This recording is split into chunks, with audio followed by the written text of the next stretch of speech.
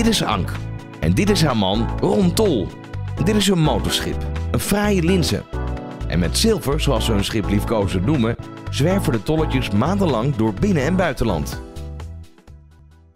Wat mis je het meest aan boord? Wat mis ik het meest aan boord? Nou, weinig. Kijk, eh, we hebben ons huis ongeveer verplaatst.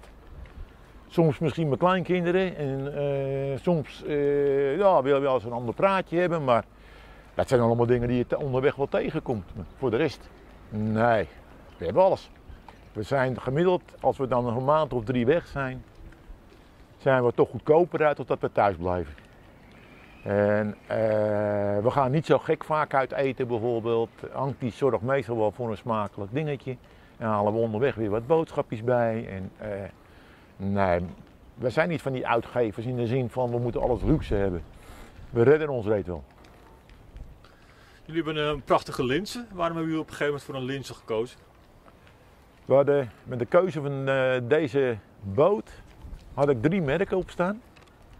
Er was een Volkflat, en een Gillissen flat en een Linse. Dat zijn alle drie eh, schepen die eh, behoorlijk hun waarde houden. Die Volkflat wordt overigens hier in Franeker gebouwd. Als eh, anekdote. En de, de Linse kwam op een gegeven moment voor ons als beter uit de bus, omdat we een achterdek hebben. En ze wilden ook eh, onze vorige boot inruilen, zodat dat financieel ook aantrekkelijker werd. Dus vandaar de Linse. Als je zo lang aan het varen bent, hè, op een gegeven moment wordt het, dagelijks leven ook weer routine.